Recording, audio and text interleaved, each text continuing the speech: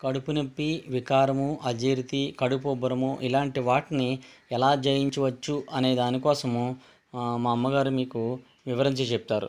వాటి కోసం మనకు కావాల్సినవి ఏంటంటే అల్లము నిమ్మకాయ జీలకర్ర.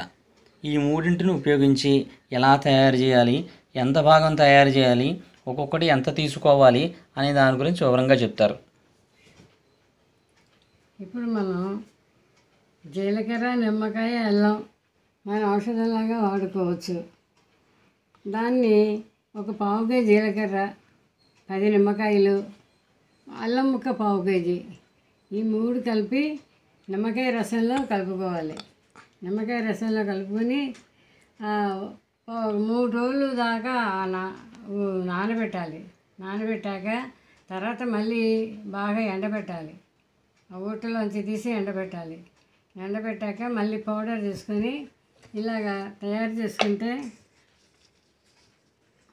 ఇలా ఈ పౌడర్ తయారు చేసుకుంటే మన ఒంట్లో బాగుండకపోయినా చేయకపోయినా నోట్లో వేసుకోకపోయినా తగ్గిపోతుంది.